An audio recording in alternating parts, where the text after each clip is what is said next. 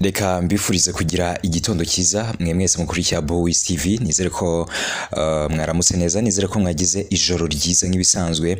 Abadukurikira bari hano mu Rwanda nibo ndi kugarukaho cyane muri Afurika y'Iburasirazuba bo abenshi duhuje amasaha.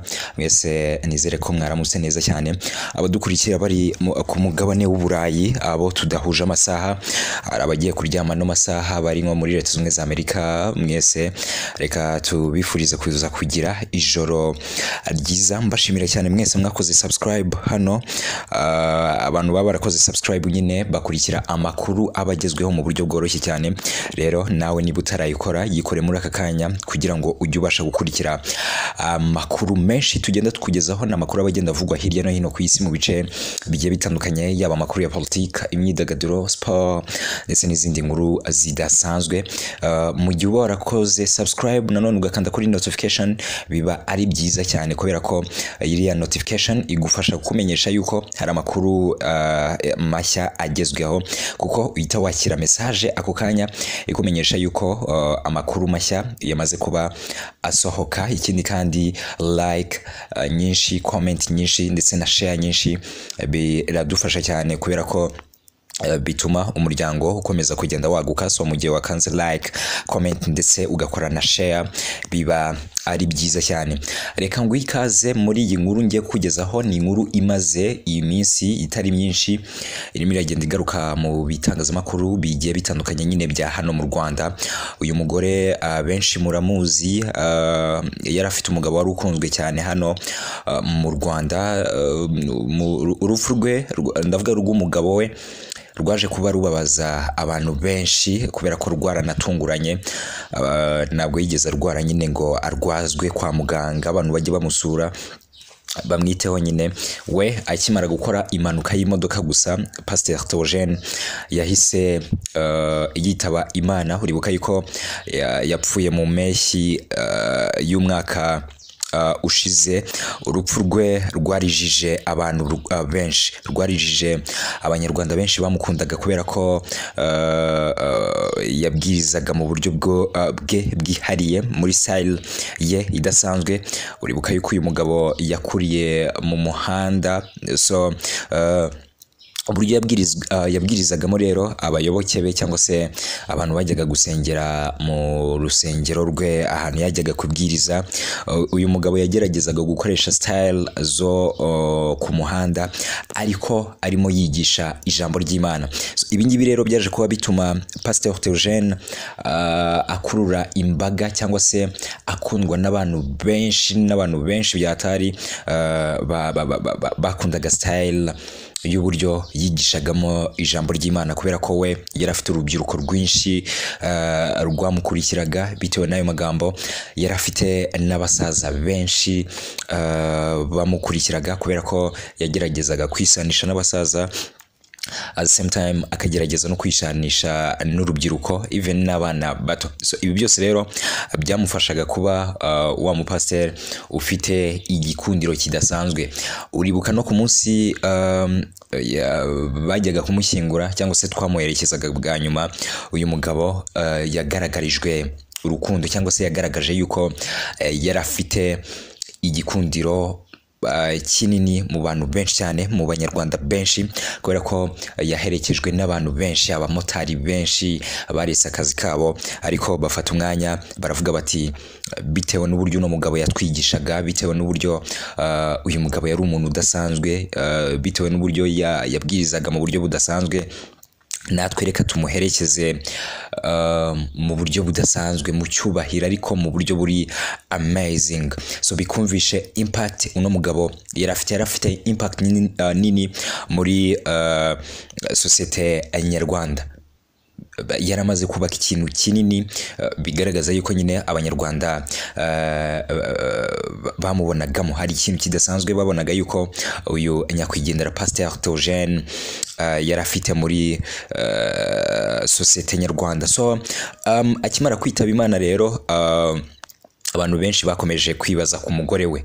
Asize umugore asize n'abana uh, bagaruka cyane ku mugore kubera ko uh, Pasteur Theogene bigaragara yuko yari afite umugore muto uh, abazi uyu Asia umunyana niyo agaragara gutya mu mafoto ubona yuko atari umugore ukuze aracyari muto.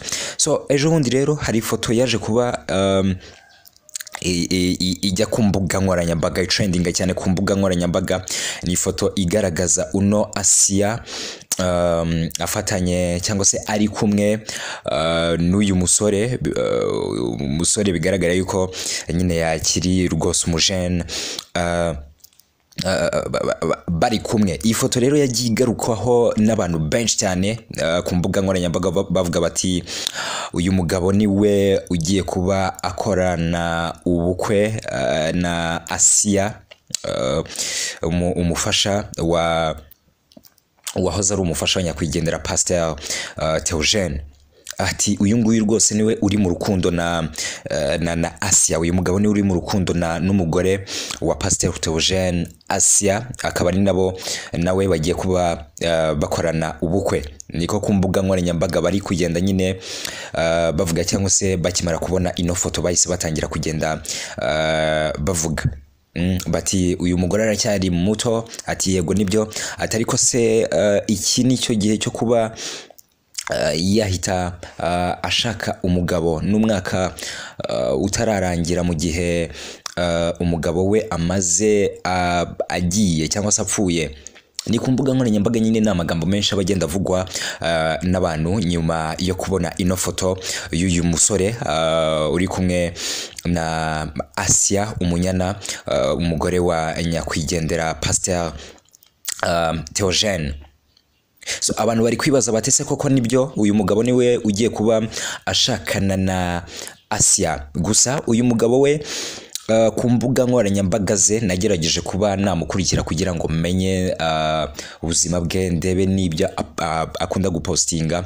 Kuri we uyu mugabo nabonye afata Pasteur Theogene ndetse na, Asia nk'ababyeyi be. Kubera ko uyu musore ubona nawe ni umusore wakuriye street wakuriye mu mihanda nk'uko nyakwigendera Pasteur Theogene yakundaga kubivuga muri slang ziwe ati nakuriye street nza kuba uh, imana iza kuba imindurira life uh, nza kuba umuntu ukomeye cyane. So n'uyu musore rero nawe uh, yakuriye mu muhanda. Ni umusore wakuriye mu muhanda ariko aza kuba ahindurirwa ubuzima na Pasteur Theogene amukura mu muhanda amujyana iwe aramurera. Kugeza uyu munsi nyine aza kuba avamo umuntu w'umusore kabisa ubona yuko akomeye ubona yuko hari ubundi buzima bwiza cyane asigaye abamo. Ibintu bituma uno musore yaragiye yapureshetinga cyane nyakwigendera Theogene. Avuga yuko yamuhinduriye ubuzima avuga yuko amufata nka papa we cyangwa se amufata nk'umubyeyi we. Hari umunsi yigeze gupostinga ifoto yagiye gusura Pasteur Theogene murabyibuka igihe yari yaravunitse ukuguru. Uyu musore yaje kuba yandika ati ni ifoto imugaragaza ari hagati yabo ndavuga hagati ya Pasteur Theogene ndetse n'umugore we umunyana Asia. Arandika ati ababyeyi banjye nkunda nawe se urabakunda. Iyi foto yaje kuba ayipostinga kuri Instagram agaragaza nyine urukundo rudasanzwe yari afitiye cyangwa se afitiye aba babyeyi bombi baje kuba bamukura street uh, bamuzana mu rugo baramurera kugeza abaye umuntu w'umugabo. Bigaragara kugeza uh, naho abantu bamubona bakabona yuko ubuzima bwe bwahindutse. Hari n'indi post yaje kuba ashyiraho nanone uh, y'ifoto imwe y'uyu mugore wa Pasteur Theogene ndavuga Asia umunyana arandika ati mama wanjye nkunda. So ahangaha yari ari kugaragaza uburyo nyine yubaha uh, cyangwa se uburyo afata uh, uno Asia. So uh, ibi ngibi rero abantu ni byo biri gutuma bibaza bavuga batese ni gute uyu musore ya ya ya yashakana na Asia umuntu wamubereye nk'umubyeyi umuntu wamubereye nk'umumama wamureze kugeza akuze akaba umuntu w'umugabo akagira ibyo ageraho then nyuma akaza kuba yajya mu rukundo n'umugore wa nyakwigendera umuntu wamufashije mu buzima bwe.